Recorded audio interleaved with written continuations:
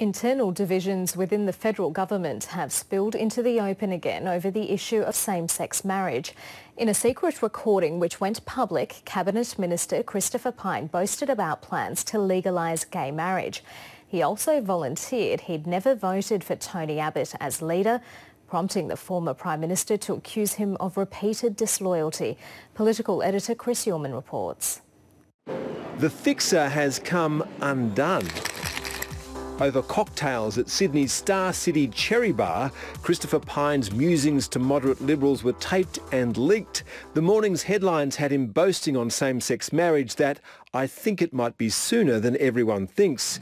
It opened the door on an intractable problem. Well, what a day to have you in. oh, mate, it's always a good day to be with you. Because the Coalition's pledge is to hold a plebiscite on gay marriage. And uh, to uh, dump the plebiscite, to do anything without a plebiscite, would be a breach of faith. So one minister's loose lips left the Prime Minister tending to another self-inflicted wound. Our policy is very clear. It has not changed. It is, we have no plans to change it.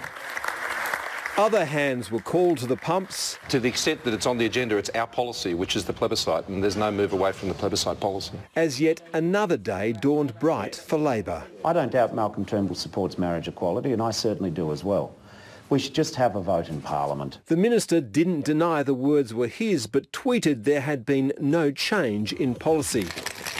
Unfortunately, that wasn't the only thing that passed Christopher Pyne's lips at the Cherry Bar. He's buggered things up now, Christopher Pyne. Because he also reportedly admitted that he and Attorney General George Brandis had voted for Malcolm Turnbull in every ballot he's ever been in, which poses yet another problem. Christopher Pyne was not just a member of my cabinet, he was actually in the leadership team. Mm. And uh, it's important that you show loyalty. But uh, if he's to be believed on Friday night, uh, that loyalty was never there, which is uh, incredibly disappointing. That'll create some drama.